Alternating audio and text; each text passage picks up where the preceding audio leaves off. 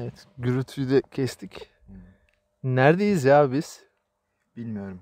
Yani Beriki gerçekten bilmiyorum. Geyik yapmıyorum podcast için. Gerçekten bilmiyorum. Sen biliyor musun? Yok ben de bilmiyorum. Yani arabayla gidilebilecek en son sınıra kadar gittik. Şehir bir köyle bitti. Evet. Ve bir tane adam bizi karşıladı. Ee, adamın elinde bir telefon vardı. Bir yerlere bir haber verdi. Çok Orada- Orada... de görünen bir adamdı.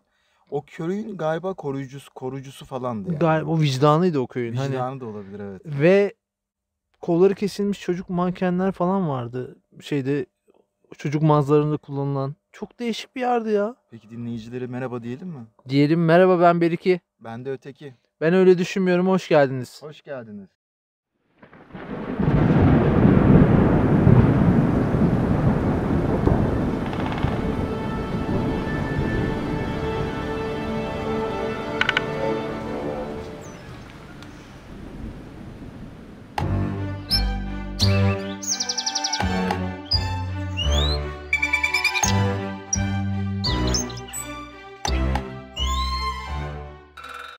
Bugünkü program çok özellikli şu Evet. açıdan. Sezon finali. Yani iş çıkışı sessiz bir yer bulmak için Eskişehir'de bu sefer çok uzaklara gidemedik. Önceden de planlamadık. Evet. İlk başta Kent Park'a gidelim dedik. Eskişehir'in içinde büyük yapay bir park. Belediyenin parkı. Oradan kovulduk. Neden kovulduk Beriki? Yani görevini yapmak isteyen bir güvenlik memuru tarafından kibarca dışarı çıkartıldık. Ama gerçekten kadına yani bütün samimiyetimle söylüyorum hak verdim. Evet. Güzel konuştu. Güzel kovdu bizi. Güzel kovdu, beni ikna etti. Evet. Ya benim o parkta olmamam gerektiğini bana anlattı. Bura kamu alanı. Burada kayıt yapamazsınız. dedi. Yapamazsınız dedi. Ondan sonra nereye gittik? Ondan sonra Anadolu Üniversitesi'ne gittik. Niye gittik oraya? Yakın olduğu için. Biri dedi ya. Dedi. Biri dedi. İkimizden biri dedi de hangimizi de hatırlayamıyorum. Anadolu Üniversitesi'nde sezon başlamış. Öğrenciler e, tüm gayretleriyle derslerine gidiyorlar ve Anadolu Üniversitesi'nde sessiz bir nokta bulabileceğimize inanıp içeri girdik. gerçekten yani. Ankara yolunun yaklaşık 50 metre yanında olan o her an 7-24 trafiğin aktığı. Sonra da Eskişehir'deki tek Fransız toprağı olan Evet. Regulatoire. Regülatör köprüsüne gittik. Yine sessiz olacağını ümit ederek. Evet. Orada neyle karşılaştık? Orada da son ses müziği açmış Evet bir e, arkadaşımız. Hayır başımıza bir iş gelirse bu kayıttan bizi dinleyecekleri için bir yine yerimizi söyleyelim. Biz ne yaptık? Regülatörden düz ilerledik. Şimdi bu kaydı zaten dinlemeleri için bizim başımıza bir şey gelmemesi gerekiyor. Yok ya bazen kara kutu gibi oluyor. Unuturlar bunu bulurlar. Bakalım diye. Ee, ben bir Eşankara köyü tabelası gördüm. O son noktaydı. Evet ama biz ondan sonra da ilerledik. İlerledik. Bir de Kızılinler tabelası gördüm. Evet. Şu an o iki köy arasında bir yerde bir yol kenarına oturduk. Solumuz normal. Arizona. Gerçekten Arizona. Sol- solumuz normal tek şeritli bir yol. Evet. Sağımızda da tren yolu var. İlk kez yolda durduk değil mi? Evet. Yani hani Evet evet ilk kez yolda. yolun durduk. kenarına park ettik. Ve böyle bir günde programımıza başlıyoruz. Bugünkü programımızın konusu aslında sizden gelen soruları ayırmak istiyoruz. Önceki programlarımızdan sonra çok güzel bir rağbet oldu. Teşekkürler. Gerçekten ya müthiş Ben de feedbackler bekliyorum, aldım. hakikaten Harikaydı yani. Ee, ve bazı sorular geldi. Evet. Bu soruları da ben şununla birleştirmek istedim. Sen uygun görürsen belki. Peki selection bias yaptınız mı? Yani Vay onu altyazıyla Türkçesini verebilir miyim? yani bir böyle bir seçim Tabii, seçilim tabii, yaptınız tabii, mı? tabii, mutlaka. Hani yani. çok hoşumuza gitmeyen soruları kenara koyduk gibi. Yani bazı sorular cevaplanamayacak. Cevaplanamayacak sorular. Ya bunun için gerçekten hani podcast yetmez. Evet Sayın Öteki. Evet Sayın Beriki. Haydi şöyle devam edelim sorulara. Başlayalım istersen. Sorular genelde şöyleydi. Yabancı bir kişiyle tanıştığında sana yönelttiği soru ilk sorular gibiydi. Mesela markete doğru evden yola çıkıyorsun. Yolda bir teyze görüyorsun. Elindeki poşetler için yardımcı olmak istiyorsun. Sana soracağı ilk soru evladım nerelisin? Evet ya. Hemen seni bir kimliğe oturtacak evladım nerelisin diyerek ve sen eğer ona ağlayayım, beyliyim gibi bir done verirsen o kesinlikle oradan bir şeye yürür. Yürür. Yani bir akrabası oradan çıkar. Evet, o yüzden ben muhabbeti kısa kesmek için bu soruya verdiğim cevap genelde buralıyımdır. Ve bizi takip eden kişiler de bize sormuş. Büyük "Nerelisin- tavsiye. Nerelisiniz diyorlar. Biz cevap verelim o zaman. Buralıyız. Türkiye'nin hangi şehrinde doğduğumuzun bir önemi yok bence. Şu an Kesinlikle. Eskişehir'den yaşıyoruz ikimiz de. Eskişehir'de genelde yayın yapıyoruz. Evet. Ve genelde doğaya çıkarak yapıyoruz. Zaten ikinci soru da Bu. Bu. Yani neden? Neden? Neden? Neden böyle bir konsept seçtiniz? Değişik mi olmaya çalışıyorsunuz? Amacınız ne? Değişik mi olmaya çalışıyoruz? Bence hayır. Ben biraz değişik olmaya çalışmaktan ziyade bunu bir terapi olarak başlamıştık. Yani bu kadar dinleneceği ya da soru geleceği hiç aklıma Gerçekten gelmemişti ya. benim. Müthiş bir ilgi. Ve bu terapinin de bir kısmı aslında doğaya çıkmak. Yani özümüze çıkmak. Ki esas bence bunu yani böyle bir şey stüdyodan yapmak bana garip gelir. Yani biz profesyonel yayıncı değiliz sonuçta. Değiliz. Bunu keyif için yapıyoruz. Kendi konuşarak kendi terapimizi gerçekleştiriyoruz. Doğayla özdeşleştiriyoruz. Ve kesinlikle hani benim en azından böyle bunu podcast'i farklı kılsın işte aman bu konsept denenmemiş ya da tutsun bu iş böyle olsun diye bir kaygıyla ben yapmıyorum bunu açıkçası. Aynı şey benim için de geçerli. O teyze şimdi seni öğrendi, nereli olduğunu öğrendi Doğru. marketteki teyze. Şunu soruyor. Marketing teyzeler bizi dinliyor mu bu arada? Marketteki teyzeler dinlemez mi? Ha, okey. Raflarda, raflardayız, bütün raflardayız. Şimdi o marketteki teyzenin sonraki sorusu da genelde ne iş yapıyorsun? ne iş yapıyorsun? Evet. Podcastçiyiz, bunun üzerinden hayatımızı kazanıyoruz diyemeyiz. Tabii ki ikimizin de profesyonel mesleği var. Aynı meslek grubundayız. Evet. Ve bunları yani adımızı soranlar da olmuş bu arada. Evet İsminiz ya. ne diye. Neden bir iki ve öteki demişler? Evet. Yani kısaltmayı da mı görmediniz ya da programın konseptini de mi anlamadınız?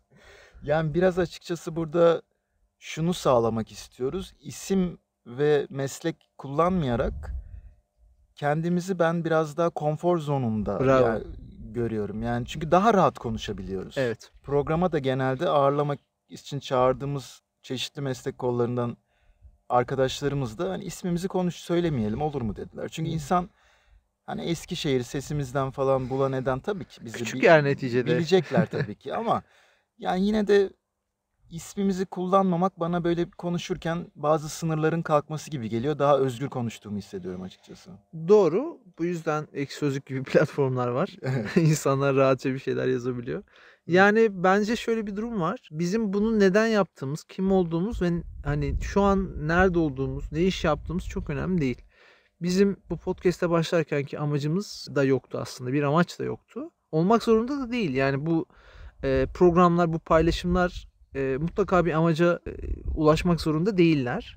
Bizim buradaki tek yaptığımız şey aslında kendi aramızda konuştuğumuz doğa sohbetlerini e, paylaşabilir miyiz? Bir e, dokümante edebilir miyiz? Düşüncemiz oydu. Ve şu an nereye getirdi bu bizi? Eşankılarla Kızılinliler köyünün arasına gel. Gerçekten inanılmaz ya. Arka tarafta kurt sesleri var. Bir e, Kuşlar da cıvıldıyor. kuşlar da bir cıvıldıyor. yarım ay. Yarım ay tatlı bir hava, gökyüzü, gün Burası batışı. bir çeşit bir hisar aslında. Küçük hisar olabilir. Doğru. Ben orta çağda olsam buraya bir Kale savunma yapar. kulesi kurardım en azından. Her Şimdi yerden Çok görülüyor. başarılı bir şekilde ilk 3 soruya da cevap vermedik Evet. farkındaysan. Bir soruya cevap Politikaya mı atılsak acaba? Sayın Beriki birkaç aldığımız mailde şunu söylüyorlar. Bir maillere niye geri dönüş yapmadınız? İki Instagram hesabınızdan yazdıklarımıza niye cevap yazmadınız gibi dönüşler var.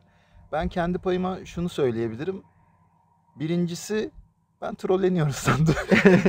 yani çünkü kimsenin bizi dinlediğini düşünmüyordum yani. evet ya. İkincisi şimdi biraz tezat gibi gelecek ama sonuçta insan o sorulara cevap verirken karşısında kimin olduğunu aslında bilmek istiyor. Hani biz dinlerken tamam adımızı vermiyoruz. Biz muhatap değiliz ya. Niye öyle diyorsun? Biz kendi adımızı vermiyoruz evet. Evet. Ama ben açıkçası cevap verirken kime ve neye cevap verdiğimi orada bilmek istiyorum açıkçası. Peki bir sonraki soru yani o biraz acımasız bir maildi ama bunu da okuyalım sonuçta. Okuyalım tabii ki.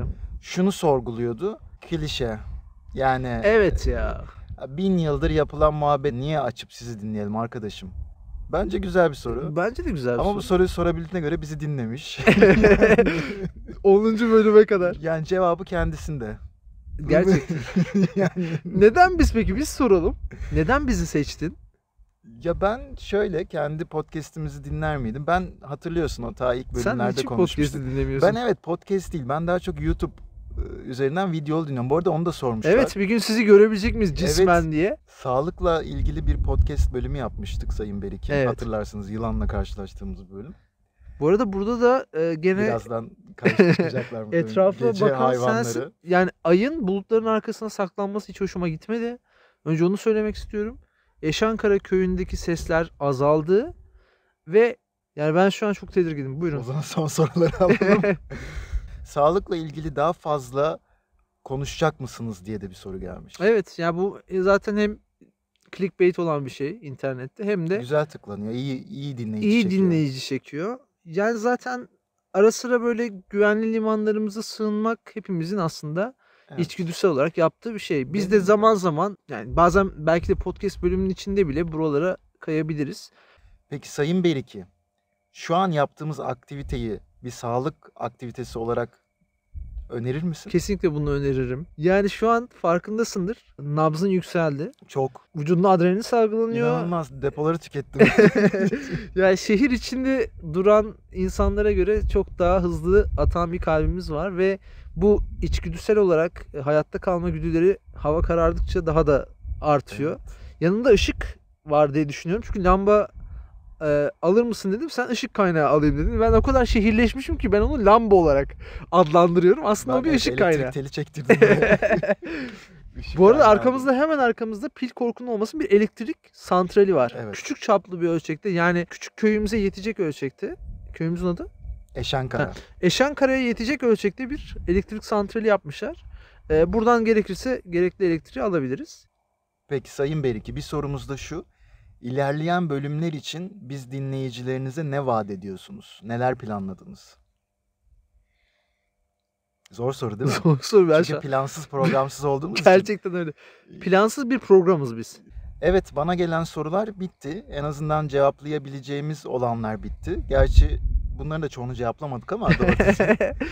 Ama onların bir Teşekkür mantığı vardı ederiz. zaten cevaplamamızın. Hani öyle bir şey olacak olsa en başında ilk programdan girerken benim adım şu, soyadım şu, şurada Evet, evet. yaşıyorum bilmem ne diye girerdik yani. Yani o tedirginliğinizi anlıyoruz sayın e, market teyzeleri.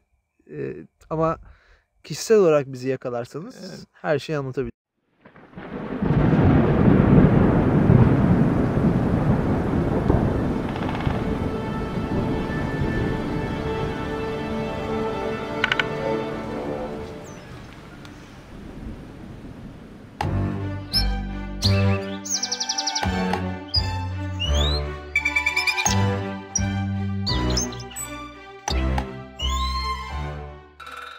Bayağı arkada aslında vahşi hayvan sesleri var. Vahşi hayvan muhtemelen bir köpek ama. Ama bak şu arabayı buraya koymamız Birimiz net kurtulur kapı açıksa eğer. aynen. Arabanın Küçük kapısı seri- açık mı? Hayır. Kilitli mi? O zaman değil. ikimiz de kurtulamayız. Ama anahtar yanında. Çok hızlı bir şekilde birimiz mikrofonla kurtun kafasına vururken Ayı olsa ben biliyorum ayı saldırısına ne yapacağımızı. ne yapacağız? Sessizce ayının arkasına dolanıyorsun. Bir dakika basamaklar nasıldı? Fark ettirmeden ayıya sessizce ayının arkasına dolanıyorsun. Gıdıklıyorsun. Yok şey gözlerini kapatıyorsun. Öyle olunca ayı kör Kim geldi? zannediyor. Merhaba.